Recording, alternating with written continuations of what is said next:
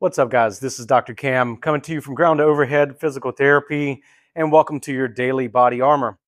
Today, we're going to talk mobility, okay, specifically for the ankle itself. So, what we know is that a lot of times, ankle dorsiflexion or bringing your toes up towards your face can be challenging for some, and there may be limitations in our athletes. What this can lead to is faulty mechanics down at the ankle and the foot uh, which also may lead to uh, problems up the chain.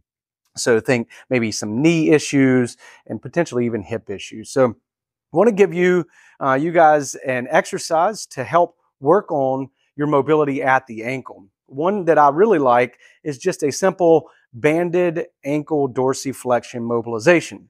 So what you'll need is, I like to use a bench. You can do this on the floor as well, but I do like to use the bench because as we get that foot up top, what we can do is really kind of grab hold of the bench and add a little bit more weight to the body and really uh, leveraging that weight to improve mobility here at the ankle.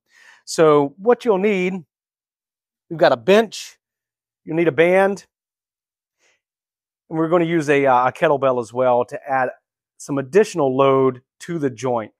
What you want to do, you want to anchor that down and this next part's really important.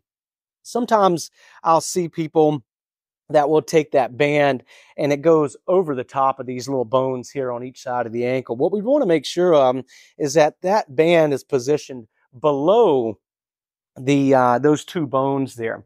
Okay, we'll move forward and we'll get some tension on that band.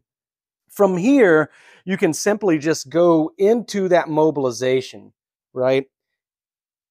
Keeping that heel flat to the ground, really trying to keep those three points of contact here at the foot as well, making sure that the heel doesn't come up.